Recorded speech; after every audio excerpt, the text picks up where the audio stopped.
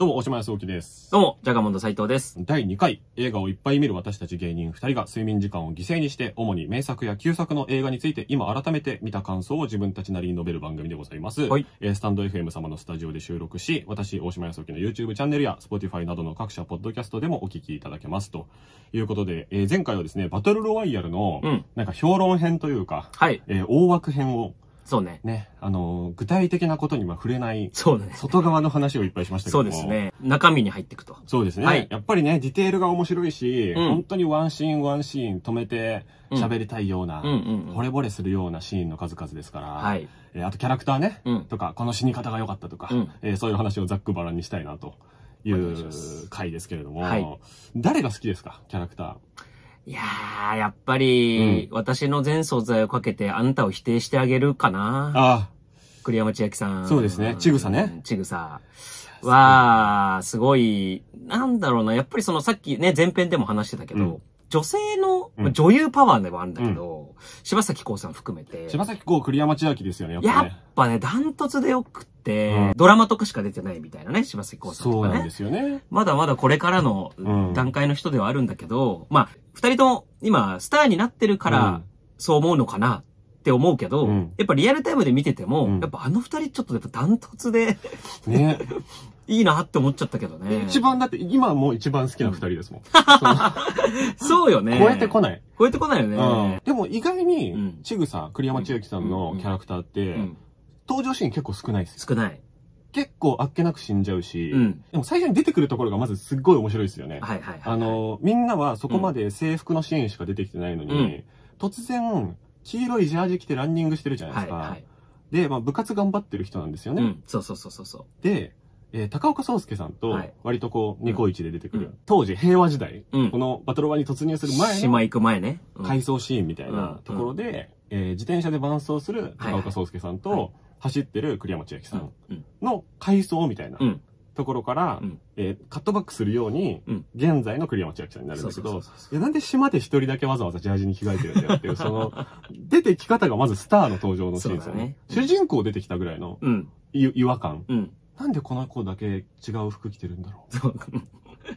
こっから活躍する人の格好だもんね。う。ね、そうなんですよね。私あの、教室に最初にこう、たけし来たのがね、うんあの、わーっている時にさ、あの、みんな状況分かってなくて、はいで、何なんだよこれみたいなことをみんなが言ってる時うんうんうんうに、栗山千明だけはなんかパッと手挙げて先生みたいな。そっか。そこで一回出てきてます。そう、トイレ行ってきていいですか？みたいなこ。こで一回存在を出して。そう。で、来たのが、あーもうちょっと我慢してくれるか？みたいな。あそこのなんか、多分一個先をちょっと読めてる感じというそか、っか。多分ここにいちゃまずいみたいな。確かにな。出ることはできるのかどうかみたいな確認を多分してるわけじゃない、うん確なんかそのこう、クレバーさみたいなのが、実はあそこ柴咲コウさんはちょっと存在感薄いじゃん、教室パートはね。うんうんうんうんでもやっぱ栗山千明さんは、やっぱそこのこう、クレバーな感じいいな、みたいな。確かに一歩先に出てますよね。そうそうそう。だから自分の死を悟るのも異常に早いんですよね。早いね諦めが早いんですよね。うんうんで、あそこで、高岡壮介さんがはい。登場して、うん。まあ最後、解放みたいなのするけど、うんうんでも、別にそれで命が助かるとはもう思ってないんですよね。うん夕日をバックうにん死んでいくだけっていうところうんの潔さみたいなところも、ある意味、その前編でも話した仁義なき戦いで男たちがやってたことを女の人もやるようになってるっていう、うんなんか極道っぽくないですか？いや、だと思う。死に方とかそう。仁義の時何に支えられてたかっていうと、うんあの、男俳優たちのうん。顔面力だと思うの。うんクローズアップされた時の。うん。やっぱこう、もう顔が全然入ってないもうさ、顎、顎切れてて、額も切れてるぐらいの寄りで、なんじゃこらとか言ってる、まあ、松方弘樹さんとか、うん梅宮達夫さん、菅原で、いかんせん文太さんとか。顔濃いからみんなパーツだけで見分けられるっていう。そうそうそうそうそう。輪郭見えてなくても見分けられるんですよね、なぜそう。かね。なんか太字で書かれてる感じというか。その感じで持ってたと思うのね。でもその、バトロワ時代になって、まあ平成時代で、はい。やっぱそういう俳優さんじゃなくなったじゃん、みんな。うんうんうん。で、なった時にじゃあ何でこう成り立ってるのかってなると、うん。やっぱりその女優、今回は女優さんの、ね。やっぱ柴咲コウさんの、あの、懐中電灯をさ、下から照らして、はいはいはい。悪いよな、あれも。小屋に入ってきた時のニコってって笑ってるとことか、なうんやっぱこびりついて離れないもんね。ね、柴咲コウさんがうん、この後のキャリアでどういう女優になっていくかを、あんまり想定してないですよね。ないね。事務所どう思ったんだろうみたいな、ね、とりあえず何でもやりなさいみたいな感じだったのかわかんないけどあの後に、うん10年後かなぐらいかに、あの、三池隆監督で、はいはいあの、市川海老蔵さんと、食い目？食い目。はいはい。とかで、まあ、怖い役やったりはしますけど、それうんうん2周回ってみたいな、そうだよね。ぐらいの感じですよね。うん。でもやっぱりこう、結構明確に、明けすけに美少女に頼ってるなっはいはいはい。ていうところが、いいいところだなってやっぱ、良さだよねはっきり思いますね。うん。そう、どっちかっていうと、うん僕、三つ子派なんですよね。あ、なるほど。柴咲コウさんねはいはいはいはい。。可愛いですね。ストレートだね。でも特別編見てます？見ても見てる見てる。特別編の三つ子超可愛くないい。か？わいい。え、あの、バスケのとこだ。そうそうそうそう。わけわかんないんだけどね。わけわかんないよね。うんで、まあ、あの、一応うん説明すると、まあ、柴咲コウさんうがんやってるキャラクターうん。が、えっと、特別編という、んえー本編が公開された後にうん出たバージョンで、あれって診察してるんですかね？新しくは追加撮影してる、あの、バスケのとことかね。して、うんえっ、と、カットされたところとかも足して。出たバージョンっていうのがあるんですけど、まあ、なんちゃない、そんなに別に話が変わってるわけではないんですけど、誰の話が増えたかって、なんか、みつこの話めっちゃ増えてるんみですよ。つこの話ね。ね。少女時代も増えてるしね。そう。んで、みつこが、えーなんであんなに、うん。いきなり戦いに対応できるぐらいうのん。戦闘力高いうん。女子になったのか、うんっ。ていうことが、まあ、幼少期とかも出てくるんですよね。出てくる。で幼少期で自分が、えー小学生なのかな、うんの時に、お母さんがうん。大金をはたいて、うんうん。知らない男はい。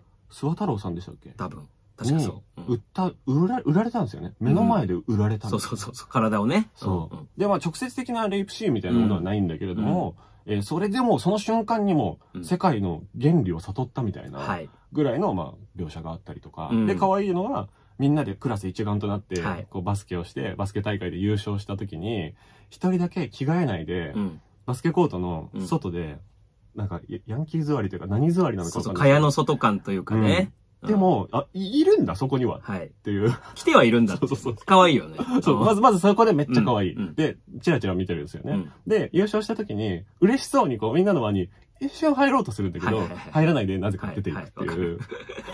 わかる。あのー伝わるかわかんないけど、コナンの、名探偵コナンの灰原の位置なんだよね。非常にわかりやすいと思います。で ちょっと外れたところで、私パスとか言ってるんだけど、実際結果出て、わー優勝だーとかならちょっと入りたい。でも入れない。みたいな、うん初期の灰原愛感があって、わかりやすいですね。それがやっぱいいね。平成初期、人気出やすい描き方だったのかもしれないですね。今見るとまあすごいベタでちょっと恥ずかしくなっちゃうんだけど、そっか、別にクラスの子たちも普通に平気で殺すかうんって思っちゃうのもちょっと切ないし。そうだね。だから特別編で追加されたところってやっぱすごい矛盾してるけど、でも矛盾してんのが人間だなともまあ思うし、みつこの良さが際立つ特別編だしね。そうですねし。かもその知らないおじさんと絡んだ時に突き飛ばして殺しちゃうじゃない。あ、そっか、そうですね。そう。だからら、その最初には自分の手で、うんえーまあ、事故だったとしても、うん。人を殺めたことがある。そっか。って。いう、だから、うん。えっと、川田、はい。山本太郎さん、はい。はい。はいえー桐山、安藤正安信さん。藤正信さはい。ん。と、えー、三つ子、うん。柴咲コウさん。この3人がもともと殺してた。っそうそうそうそうそうそう。ていうことが特別編で明らかになるんですよね、経験者だったというね、うん。はい。本編では2人だと思われていた。けれども、3人だったそうそうそうそう。ことが明らかに。いや、よ、予期せぬことですよね、あれはねうん。まあでも割と打足ですよね、特別編はね。いやそのシンプルに見たら。そう、あの、映画として言っちゃうと、はいめちゃくちゃいらないな、とうですよね思うし、あの、監監督自身もやっぱりやりたくないっていうか、その、うん。あんまり前向きではない状態でやってるはいるから、ただ、なんかそれぐらいその、ファンの人の、うーんと、もっと見たいみたいな、えー声が多かったみたいなのよね。なるほどね。だから、割とネットがわーっと全盛期というかさ、はいはいはいわーっと流行り出して、うん。あの、お客さん、観客の声が、うんえー今で言うとツイッターとかね、はいはいはいリプが飛んでくるとか DM 来るみたいなノリだと思うんだけど、割と見た人の反応をビビッドにこう感じれる。うんうんうんうんで、そのこっちの制作サイドもそこにちょっとこう寄せれるみたいな、ファン差できるみたいな時代のちょっと早めにやってたの、それをっていう感じがしますよね、先駆けというかね。こんなに来ちゃうんだっていんうことでびっくりした最初のそうだと思う。体験かもしれないですね。インターネットを通じての。そうそうそう。なるほど。それにやっぱ答えちゃったっていうのもそう。あるけど、その結果、みつこが可愛くなったっていうっていうのは、ね、いいことですね。々としてはラッキーなところというところですよね。そう。だから、ちぐさが、はい。本編、バトルが始まってからうん、制服から勝手に着替えてるのに対して、みつこは特別編で着替えてないんですよね。一瞬なんかあの、シャワーというかね、髪を拭いたりとかね。あそう、本編では、はいえっと、はい本編では、むしろ、えっと、他の子たちより着替えてる方ですね。はいなんか、ショートパンツみたいなのあ、にそうだよね。着替えたりとかしてますけど、うんでも、特別編のう、んそのバスケシーンでは、あ、そういうことね。特別編ね。はいはいはい。みんなと違って着替えてないっ制服のままね。ていううん ところ とかも、あの、面白いなと思いますし。そうだよね。単純にやっぱその、うん鎌を使ったアクションめっちゃ強いのが、うん。すごくて、あの、スタンガンのくだりあるじゃないですか。はで、スタンガンを奪って、スタンガンでやるのかと思ったら、うんうんうん。あ、鎌で直接行くんだはい。っていう、うんうん。その、本当に暗闇の、こう、這うようなアクションとかうん、よくできるな、あんなの最初からってそうだよ。ね。だから、うーんと、安藤正信さんとかはさ、マシンガン奪ってパパパパって撃つし、はいはいは山本太郎さんもショショットガンでバンバン撃つじゃない。うん。でもその柴咲コウ、み、みつこうんみつこだけは、その、手触りをうん。感じたいとい確かにね。殺しの、なんかその、そうか。肌で感じたいみたいな、そこがより怖い感じが、初手からだから鎌でいけるんですよね。そうそうそうそうそう。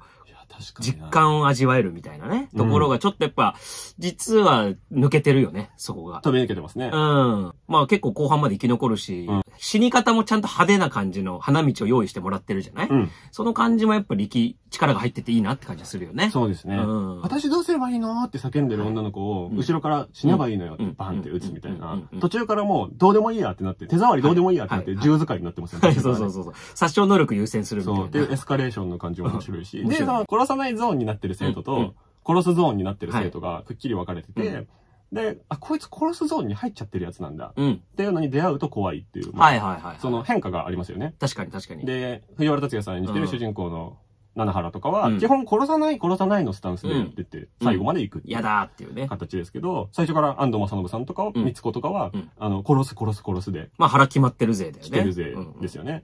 で、その、栗山千明さんが演じてるちぐさんはい。は、殺さないのスタンスで最初、いた男子生徒としゃしゃべってるじゃないですか。うん。だけど、私の顔顔に傷つけたねっ。ていうので覚醒するうんん。ですよね。うん。だからそれ、あれがなかったら、大丈夫だったかもしれない。まあなんとなくもうすやり過ごそうみたいなね、側だったよね。七原組の方だったかもしれないけど、その顔にバシュってこう、うんうんかすり傷とかじゃなくて、ん深い傷が結構できるじゃん。多分後々残るであろうね、うん傷ね。うんああいうトリガーとかもめちゃくちゃうまいなと思います。そうだね。トリガーがちゃんと実は、そっか、まあ、東大のところでのカレーのあの疑心暗鬼のバタバタもそうだけど、あのー割と殺すスイッチが入るトリガーがしっかりわかるのは、栗山千明さんなのか。あんな差しでさ。一番くっきりわわかりますね。そうだよねうんあとはもう大体いきなり撃たれてとか。そうだよね だから俺、あの、そういう意味で言うと、スイッチ入らないまま終わっちゃったあのメガホン使ってさ、うん。みんなーみたいな。なんとかだけど、殺し合うのはやめましょはい。うみんな来てみたいうんな。女子たち二人ね。そうそうそう。映画見てるとバカだなみたいな。うん。もう誰が指摘しなくても絶対ダメだよ、そんなことやったらって思えるじゃない。ね、来たのにちょっと褒められてますけどね。ああ、そっか。そうか、そうかいい。観点だったな、とか、言われてますよ、確かね。放送で。あの通信簿いいよな。そう。やっぱたけしさんのいいよあれがいね。いのうよ。ん。でもあれも桐山に殺されてますもんね、結局ね。そうだね。ダダダダダだね。ほとんどのやつ桐山に殺されてますよ。そう。だから桐山が割と、まあ、便利に脚本上も使われてるというか、そうですね。大量、だから42人いて、うんそれをどの店舗で減らしていくかみたいなところがあるんじゃない、だから基本は、もう相打ちで大量にうん、一瞬で死んでもらうか、うんまあ自殺でポンポンってこう、はいねカップルみたいなのは心中してもらってとかもあるけど、あとはもう大体桐山にそうそうそうそう。やってもらうのとやらしとけ、ばっていう。見せ場見せ場は一人一人うん華々しく、はい。相互に殺し合って死んでいただくみたいうんな感じだけど、まとめて死ぬのやっぱ切ないですよね。自分だったら、そうだね。この6人、5人とか名前が連なってる死に方はちょっと嫌だなとか思いますよね。自分がオファーされたとしてね、うん新バトルロワイヤル出てそう。1で、1で出たいですよね。一行で出てほしい。出たいですよねだってうやむやになってるもんね。うん。あ、あ、そっか。あ、こいつここで死んだんだって、あの字幕でわかるみたいな。はいはいはいはいはいから、塚本隆さんとかうんうん、三村だっけ？はあはあはあはあ。あの、科学的な彼。はいはいはいはい。ハッキングとかね。はいはいはいはいはい。爆薬とか作って。あったあったあったあそこだって一瞬いけそうだったっすもんね。いけそうだった。応援室したんだけどね。ね。うん。完成室、ものの見事に混乱してましたもんね。してたね。あんなにあわあわするかっていう。あのバスケのね、あのなんかウイルス入っちゃってそうね。そうそうそう。何事だみたいな。あんなにまんまとあわあわするかなっていうのも、でも、当時のこう、ネット感覚みたいなのって、はいはいはい。その、ハックされること自体がまずすごい変わったことだから、うん対応しないのもまあ、わかりますよね。ザルだっていうとこうろねん。。今はその、ハッキングとかウイルスとか、まあ当たり前だもんね。当たり前の時代に生きてるから、対策ないのを見て、ちょっと笑っちゃうけど、はい。そっか、そんな発想がないのか。2000年ならあり得るかみたいなね。うんうんうんしかも舐めてるからね、生徒のこそう、とね。生徒たちがそんなことできるわけないと思ってるっていううんうん感じねあ。そこも良かったですね。でも、三村もみんなと一緒に死んじゃいましたもんね。そうだね。一、一じゃないですもんね。うん。そう、だから。もうちょっと頑張れたのにって思っちゃうよね。全員そうっすね、でもねう。ん。割とみんなだから連名で、うん。仁義の時の死ぬ時にさ、はい。出るじゃん、あれも同じく、はい字幕が。はい。あれぐらいやってくれれば嬉しいけど、そうね。そうもいかないしな、みまあ、たいな。でも、ある程度踏襲した結果なんでしょう。まあそうだろうね。とは思いますけどねだその中でやっぱその東大事件が、うん。東大の中のあれ見せ場だは、よな、あれは。あれはやっぱいいよね。いいですよね。連盟時にだけど、うんみんな割と役割があるじゃないですか。あの心理戦の段階からね、うんうんこの藤原達也のこと好きでとかさ、はい。で、この子が毒入れて、はいでも疑ってんのこっちで、みたいな。あれをワンシチュエーションでやってる感じが、うん。おもろいよね。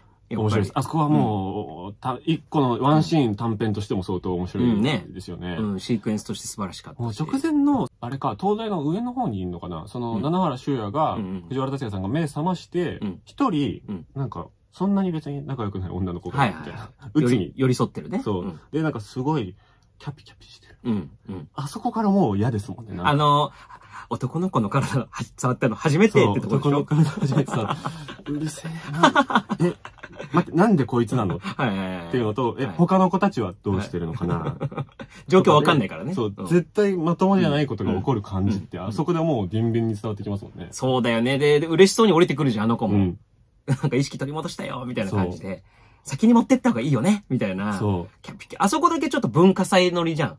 そうなんですよ。文化祭のりもだから残ってるんですよ、ね残ってるよね。。そうんう。。だからやっぱ平穏無事で、まあこの世界はこの世界のままでやりたいと信じたいうん欲求もあそこでこうんう出てるからうんうん、あそこでこうみんなが一安心してうん、やっぱこう殺さないチームうん殺さないチームだよね殺さないチームだよねっていう約束のもと集まってる人たち。だから、私たちずっともだもんね。っていそううこのノリが、そう。あのが、東大にあるよね。一人、あの、異常な量の、はいはいその、毒であんな血吐くかなっていう量の、何毒っていう 血の吐き方をしたことによって、うん殺さないルールが一気に破られて、うんうんああ、誰かが殺すんだ。うんじゃあ自分も、うんってなっちゃうっていうのはうん非常にもう一瞬でわかりますもんね。そうだよね。あそこだ食、中毒、食中毒、食中毒なわけねえだろって、もう全員が頭の中で突っ込んでますもんね、あのシーンで。でもなんかそうじゃないことを信じたいっていうかね。そう。殺さないっていう前提だよ。だったよね、このルールは。っていう話がうん、食中毒、食中毒っていうんうん。うん。うセリフで、でもじゃないことはもうみんな分かって、うん。分かってるけど。心の中の銃はもうみんな用意してるっていう、一瞬で分かる空気がパッと変わるね。あそこは素晴らしいですよね。でも、リアルな設定が学校の劇だったら絶対できないですからで、きないね。バトルは中でしかできない、できないよね。そのショートシークエンス。そうだよね。その、いろんな森の中でのアクションとかさ、はいい、ろいろこう、楽しいじゃない、はい。ボウガン使ったりとか。そうね、武器の様々な。そう。あの、うん転がってっちゃったら、いあの、斧が頭に刺さっちゃって死んじゃったとか、うん。なんかこえ、の、それ、七原がやったやつ。七原がやったやつあれもバカだよな。あれも、基本やっぱな、修也は、殺さないチームにいる人だから、おい、大丈夫か？って言ってるんですよ。はいはい、そうそうそうそう。大丈夫じゃねえよ。お前がやったんだよ。あれまだその、殺しの世界に入ってない感じだよね、会話がね。そううん。だから、ボールぶつかっちゃったぐらいの。はいはいはいはい。ドッジボール強めに当てちゃってね。そう。あ、ごめんみたいな感じだけど。で向こうもなんかだいやうほぼ死んでるから。死んでるよね。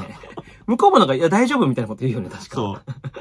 ああいう事故が、うんあのぐらいの時間帯ではまだ結構ありますよね。ある。で、それはまだみんなが桐山と光子に遭遇してないから、してないからねだからスイッチ入ってないんだけど。歩く死だからね、あの二人は。そう。うん死神がまだみんなに出会ってないから。うん。最初の方で、こけて、うん。お、これお前のだろって、ボウガン？そう、はいはいいう、あれもミスですもんね。はい。最初は結構だからミスでの死そうそうそうそう。と自殺で早めにうん、人死ぬ世界ですよ、死ぬ感じでやっていきますよ、うんっていうのは、スパスパスパーっと見せてますよね。だからその辺がやっぱバトロワ2になかったなと思っちゃうんだよね。ああ、そうか。やっぱ重火器普通に扱えるようになっちゃって、確かに。一人が知ってれば襲われればみんなできるみたいなそ。れ大きいわ。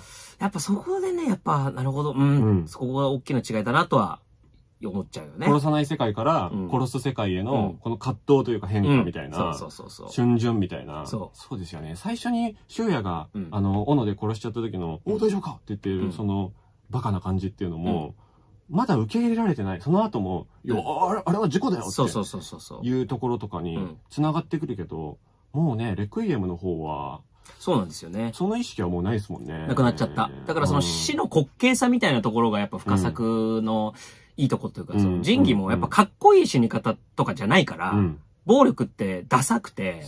痛くてそうですね。う撃たれたらうわーって言って死ぬみたいなそうだわ。ことの切り口がやっぱ、金字節だったのかなって感じはするよね。確かに。だからやっぱ、うん。かっっこいいけど、みつこも、桐山もかっこいいけど、やっぱ最後ダサいですもんね。そうそうそうそうそうそうそうかっこいい死に方する人は基本的に出てこないですもんね。いないですね。だからヒロイックにここは任せとけみたいな、例えばベタにね。うん、なんかそういうことじゃなくて。それで失敗しますもんね。そうそうそうそうそうそれで火薬爆発しても、そう。自爆して死んじゃったみたいな。そう。だからみんな、あのー、あっけないというか、こんだけみんな生きってやっても、うん、死って急に来るし、はい、無様だよっていうところは、うん一貫してやられてるよね。そうですねうん。そうだ。あと、えっと、昨日改めて見て今なんですけど、はいうん久々に見た感想としては、うんその絵代わりがするように、うんもう徹底的に飽きさせないようにしてるなと思って。なるほど。もちろんこう死の大喜利っていうのはあると思うんですけど、うそれがずっと同じ白昼とか、うん同じ夜行われてたら結構退屈だと思うんですけど、うん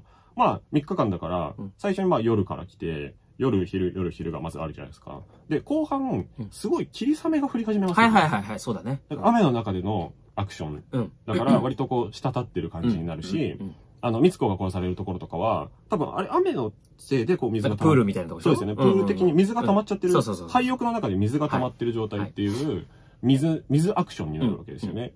で、まあ、外の、あの、野外のアクションもまあもちろんあるけれども、うんその後に、桐山が、あの、火薬が爆発したところうの、ん。炎の中から出てくるじゃないですか。はいはい。で、その、火、火のアクションになるっていう、うんうんその、水、火っていううん絵代わりを、後半だいぶ貪欲にやってますよね。そうだね。あの、だから誰がどこで死んだかがすごく明確に分かりやすいし、覚えてやってるというか、うんあの、その、フィールドだよね。だからね。バトルフィールドがそう、毎回違うと。そうう。んうんうんそれをちゃんとやってくれてるから、全然飽きないっていうのもあるし。そうだね、んだからその、本来ならこ、殺しの慣れてないところからだんだんこうシームレスにこう、うん。あの、殺しの世界に入ってって、うんで、いろんな覚悟を決めた人もいれば決めてない人もいて、はい。っていいうところでまま死んでいく人も結構多いね。そうそうそう。なんかそういうこうバリエーションがあるんだけど、うんまあそれだけでもいけるぐらいなのに、うんうんちゃんとこうバトルフィールドを変えていくっていうのは、確かに強いし、うんそういう意味で言うと、やっぱりその室内の取り方がすごい上手いなってああ、なる思う。ほど。そのやっぱたけし、北野、北野が出てきたところの、はい教室でのビデオ姉さんとかの説明の一連のシークエンスとか、うんやっぱ惚れ惚れするようなカメラワークだし、いやー、冒頭やばいですよね。やばいね。だからやっぱその北野力、北野武史力でう、ん。浮力を保つじゃん、最初。そうですね。ブワッといって。出てきた。そうそうそうそうそうそうそう。で、そこで、そう。で、やっぱりその最後の撃って死ぬところ、あの、北野がね、その絵を披露するところもそうだし、もちろんそのフィールドで外でのところもおもろい、ゲリラ戦で面白いんだけど、はい。やっぱ室内が特にうまいなって思っちゃう。そうですね、その圧迫感と、うんで、外に出て開放感があるのかと思ったら、それはそれで怖いみたいな、そうそうそうそう。対比にもなってるし、そうそうそうやっぱ、どこのシーンがやっぱ一番すごかったかってなると、うんやっぱ序盤のシーンになっちゃうかな。そう。いや、そう、俺もね、そうなんだよあなー。一人一人がうんバッグ受け取って出てくまでの一くだりうんがやっぱ素晴らしすぎるかな。やばいよ。よね。うん。ど、どんだけレールとか敷いてんのって思いますよね。はい。あの、カメラグワーって回るとことかね。うん。踏み、踏めるとこあんまないないよね。ぐらいやってません？なんかやっぱね、それが、たけしさんをね、うん採用したっていうところうのん一番の強いところだしよか、ったと思う。武田鉄矢さんじゃなくてよかっ そうだねた。と思うな、俺は。うん、だからちょうど怖い。そうだよね。うんだそこはある意味この、その男凶暴につきともね、ちょはいはいはいっと繋がってくるところもあるんだけど、やっぱりその、うーん、なんかその室内でうん。何にも分かってない生徒がいて、はい。はいで、そこにたけしさんが現れて、はい。で、みんなは、あ、もう前、他の他人だ、来たのじゃん、うん。としか思ってないんだけど、そこからこう、だんだんこの暴力の世界に入っていくんだっていう過程のうん。ピークのとこで、ぐわーっとカメラがさ、うん。たけしさんの周りぐわーっと回って、はい。で、周りの生徒が、うわーみたいな感じで、なんか、もう、将棋倒れの勢いでぐちゃぐちゃなるじゃん。はい。あれ、やっぱ鳥肌立つね。うねりやばいな、みたいな。あれに匹敵するものを、あれ以降の日本映画であんま見てないな、そうね。だって、すごい本来なら退屈なシーンよ。そうですね。うんルール説明だから。し、割と、うん。まあ演技、演技歴がそんなにない人たちを集めてるわけじゃないですか、一応。が、ちょっと、早くしろよとか、何なんだよこれとかうんうん言ってる絵って、基本そんな見てられないじゃないですか。見てらんないね。そういうことを感じさせない緊迫感、緊張感がある。いや、すごい。だから、あの、メイキング見ると、はいき深作金次が、はいもう、その、生徒たちはまだは、ね、それこそ役者歴そんなだから、はい。自分が入ってってこうやってやんだよみたいのをあ実演してはい。やる。はい。で、たけしさんにもこうやって動いてここではいダメ、はいダメ、ここで言ってみたいなのを自分でもなんか指示じゃなくて、はい。中に入ってっても、体で教え込むみたいな、すごいな。ロジカルというよりも、肉体で反応させる動きうんうんうんの面白さみやったぱいな。ロジックじゃないですよね、あんまりね。全然ないと思います。そうなんですよね。だから今、深作金次さんが生きてらっしゃったら、うんご存命だったら、うんあの、モーションアクターみたいなので、はいはいはい全身自分でやって 一個作ってほしいですよね。そうだね。だからその、ちゃんと激しく動く安野みたいな。そうそうそうそうそう安野秀明もやるじゃん、モーションコントロールで。そう、だから、あれ、アニメとかも作れるかもしれないですよね。うんいやそうだと思うそのメソッドで言うと。そう、だからそう動きの人だから、うんだからそこがすごく、えーに肉体感というかね。わかります。やっぱいいよね。一個一個の動きがやっぱね、ほほんと細かくディレクションされてんだろうな、絶対って、やっぱ昔から思ってたけど、思うよ見ねれ。ば見るほどやっぱ思いますうね。ん。目目が変な方に動いちゃってる人とかも一切いないから、はいはいはいはいはいはい。怒られるんだろうなっていう、そう。現場で。もうメイキング見ると何回も怒られてやり直しとか。あそまあもちろんね、その今の時代的にね、今いたらまたど別の解釈なのかもしれないけども。今、まあまあ、わかりますよね。それ置いといて。うん。いや、すごいよな。だから、その北野、北野力、はい。たけしさんが北野として登場するパワーっていうのが、うん結構この映画を、下駄2個ぐらい、まあ、履かせてる部分いやは、マジでそうだすっごいあるじゃないですか。うんやっぱ登場するところが、うん基本的にまあ、情けない登場うん。でパッて出てきて、うんそこからこう、だんだん怖くなっていく。うん。うん。うん。で、また消える。うんで、また出てきた時はうん結構情けない。うん。うん。で、だんだんまた怖くなっていくみたいなことの繰り返し。うん。で、結局この人は何なんだっていう、うんその、子供目線で見ると、え大人キモみたいな。うん。でも大人目線で言うと、いや、わかるわかる。子供に対してこういうアプローチになっちゃうよね。わかるわかるみたいな、うんうんその両方を背負っているキャラクターうん。なんだけど、でも物語の重しにはなってるっていう。そうだね。そんな弱いキャラクターがなぜ物語の重しになるのかっていう。そうだよね。登場秒数的にうんも、ハンニバル・レクターじゃないけどさ、レクターみたいなものでもないじゃん。強靭でサイコパスで、でもないというか。全然、あの、本人うは、ん。制度があるからやってるだけの人に見えますね。うん、なるほど。うん。で、プラスそのなんか、刺されちゃってさ、お尻ね。うん。過去にね。うんなんかそういうのもあんのかな。あと、娘に嫌われてるってのもすごい良いなっていう。そうですね。うん。で、結局その中川っていう、まあ、はいヒロインのことが、うんまあ、恋愛的に、うん半分娘半分恋愛みたいなはいはいはい、混ざっちゃってる感じでう、んまあ、好きだったっていうのは、ちょ、ちょっとまあ、こうんこじつけ的に出てくるけどうん、まあ、あれがあってもなくてもわけわかんない人ではあるなとは思う。そうだよね。けどでも、全くわかんないかっていうとう、ん一個一個の感情はすごいわかるなっ。ていう。なんか、面白いのが、あの、その中川とリンクしてますよね。その、はい、夢見るとことかね。夢見るところとうんうんうんか、あ、と、クッキー食べてもらえなかったな、結局はいはいはいはい。って七原に言った時に、パッて切り替わると、うんソファーでうん来たのがうん、寝そべりながらクッキー食べてるんですよ。最後の一枚かってそうそうそう最後はね。うんそことか、そう、同じ夢見てますからね。そうだよね。そあの、河原のとことかう。ね。そう。で、んあれは別に北野の片思いじゃないんですよね、別にね。そうだと思う。そううん。だから、その中川側も、その父親的なものうん。なのか、うん。まあちょっと恋心的なものなのか、でも半分恐怖みたいな気持ちはあるから、完全に北野のストーカー的な勘違い恋心うん。ででももないないよね。っていうところが、どっちにも、なんだろうな、優しいというか、うん。優しくはないか。まあ、あの、そうだね。謎ですよね。謎すっごい謎ですよね。その謎がやっぱ、たけしさんキャスティングの、もう本当妙だなというか、最初その、やっぱりその説明側でね、うん。怖いな。まあ、で、皆さんご存知、み皆さんこれから殺、殺し合いをちょっと最初は、してもらいますっていうね。そう、怖い代表として出てくるんだけど、うんあ全然そんなことねえよ、こいつって結構すぐわかるから。で、傘さすとこいいじゃない。あれもね、うん風邪ひくなよ、とか言ってさ。ねあの二人にだけ優しい。でもあれは、修也には別に関係なかったってことですよね。そうだね中川に優しいってことそうですよね。そうそうそうそう。で、最後も、撃たれたと思ったらむくっと起き上がってさ、うん。うん。娘の聞いてなかったっていうね。そうそう電話出てさ出、て。で、ほら、しかもその手前で銃撃ち返すときになんか、水鉄砲だったみたいうな。ん、ありましたね。あそこら辺ちょっと早くてわかんないんだよな、何回見ても。いろんなこと起きすぎてわかんないじゃん。うんで、なんか、すごい不思議だなって思うのが、あの、深作金次の映画なんだけど、はいあの、たけしさんが出てくるとこは、うん北野たけしが撮ってるみたいに見える。本当にわかる。マジでそうわかるよね、うんなんかこのシュールな感じっていうのかな。うんあの不思議な感じって深作節じゃないから、うん、そう。それは、やっぱどこまでこう、うん狙ってたのかというか、ねお互いね。そう。それはね、すごく気になるところだよね。で、たけしさんはもうバリバリ監督やってる時期だかそうそうら、そうそうもうたけしメソッドもあって、うんで、まあその男凶暴につきが、うんそもそも深作さんの企画だったやつを、うんたけしさんが継いでるわけじゃないですか。うんうんだからもともと、まあ、まあでも、その男凶暴につきは別に深作っぽさは全然ないうん。と僕は思いますけど、うんあの、完成版の方でしょ、うんいや、そうですね。はい。でも、なんていうのかな、その深作さんに、そのたけしさんのうん演出メソッド、うん。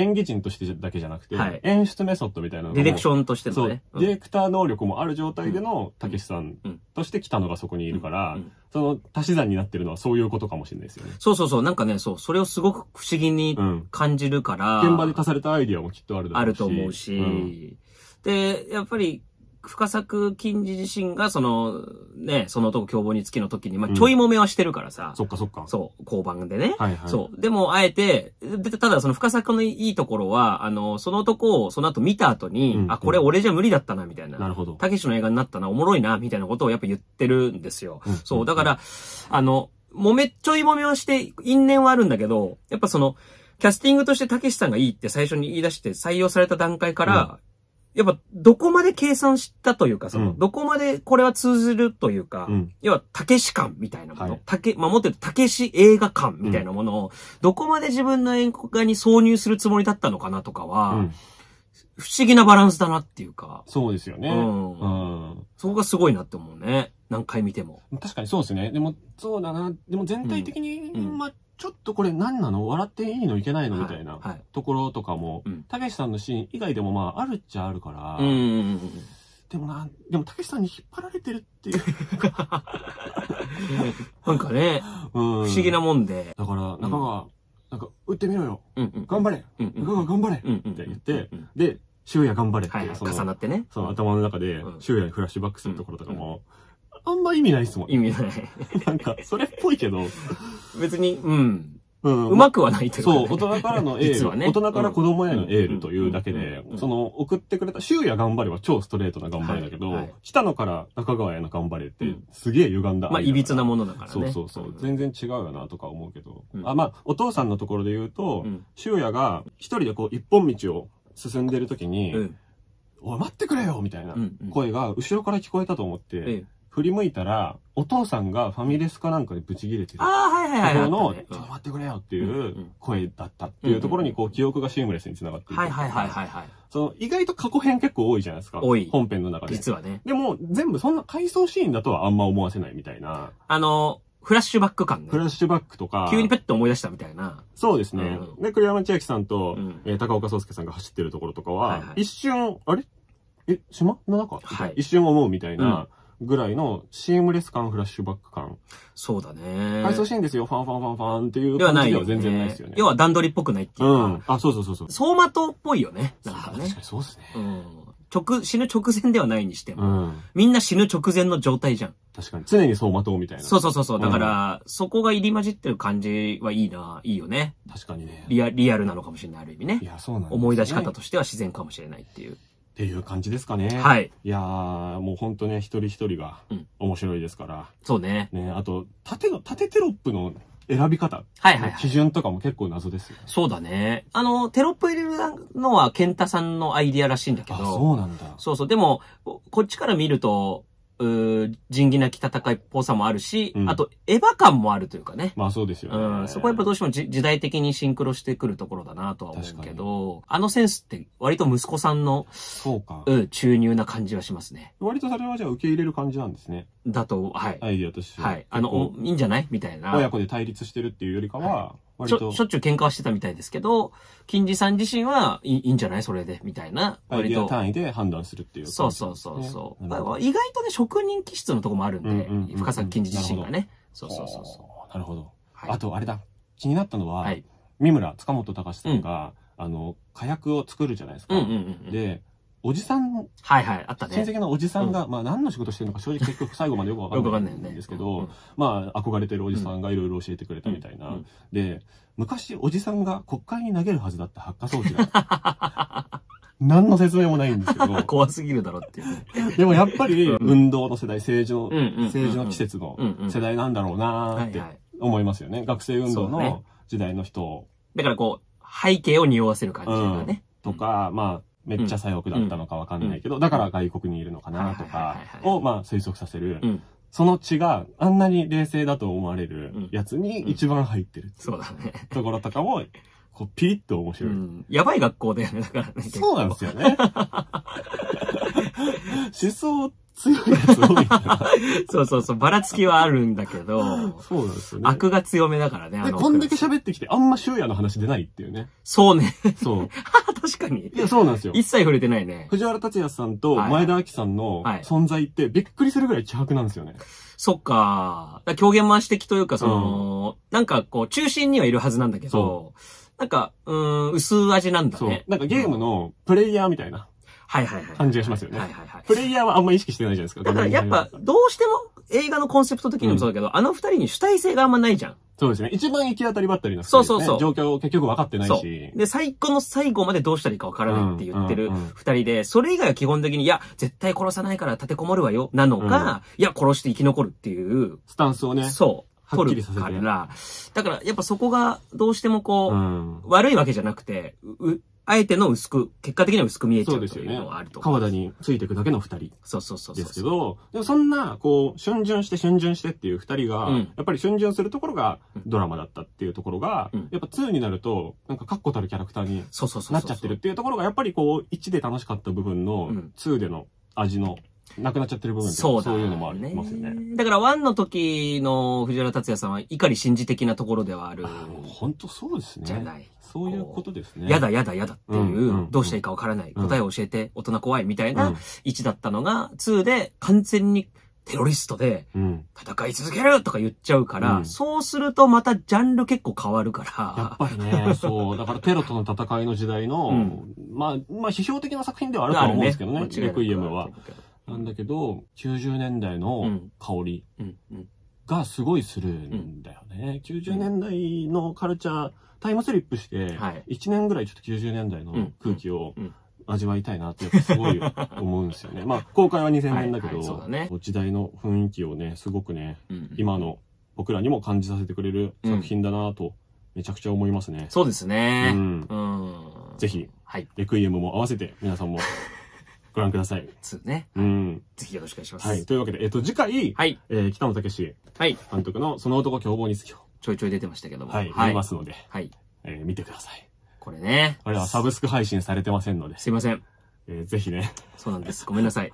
何かで買うか、はいお近くのツタヤやゲオなどで借りるなどしてください。ぜひよろしくお願いします。ただもう、その価値は絶対にありますので。いやー、結果的にと見直したけどめっちゃ面白かったね。ね。うん。1枚で買ったとしても、うん1900円以上の価値絶対にありますから。あります、あります。全然あります。新作映画スクリーンで見る分の価値以上絶対ありますから、1枚で買ってもいいと思いますし、うん我々は北の映画をこの後もずっとやっていくと思いますので、はいついてきてくれる方はもうボックスで買っちゃってもいいかもしれ 在庫切れになっちゃうかもね。ない。ね、すいません。はい回し物じゃないです。もう、い1マージンも入らないと思います。一枚、一円も入んないでそうす。はい。